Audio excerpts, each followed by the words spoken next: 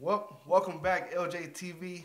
Sorry I've been absent. I've been like way under the weather because when I get sick, I get like deathly sick where I end up in the hospital and it's always bad. I know my nose is kind of stuffy. I sound really nasally. But that's not going to stop me. What I want to show you guys, even though I do product reviews and some tutorials and I make my own stuff, I also am into heavily into computers and technology and there's one I came across. I just got this MacBook. This is the 2012 version, and I updated it to to High Sierra. I never owned a MacBook. I've always been a PC guy. But I just wanted to try the other end of the spectrum. And there was a security exploit that if you type in a certain word, you can gain full access to the entire computer. Now, people, most people will boast on how secure Mac OS, OS the Mac operating system is, but my years of working with computers as every PC, every computer has a flaw.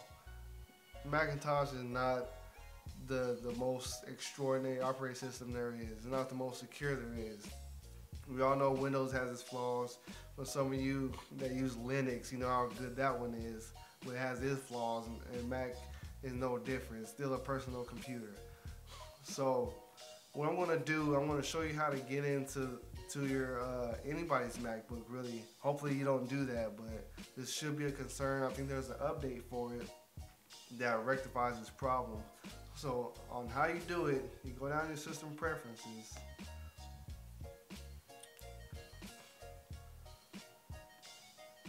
And then you go to your uh, users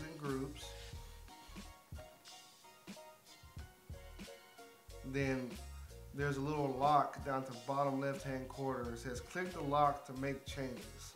So when you click the lock, you're greeted with a little message right here. If you're trying to unlock it, you have to have your username and password. But what you do, you take out the username and leave the password blank. You type in root and you press enter. And bam, just like that, you're in.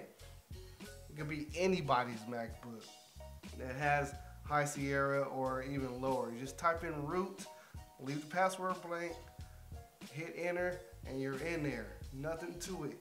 Now you can do whatever you want to the whole entire system.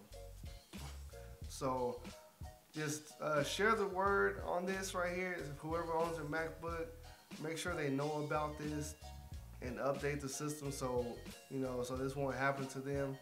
So if you like the content and you enjoy this kind of stuff, just give, leave me a thumbs up, subscribe if you haven't, and I'll see you in the next video.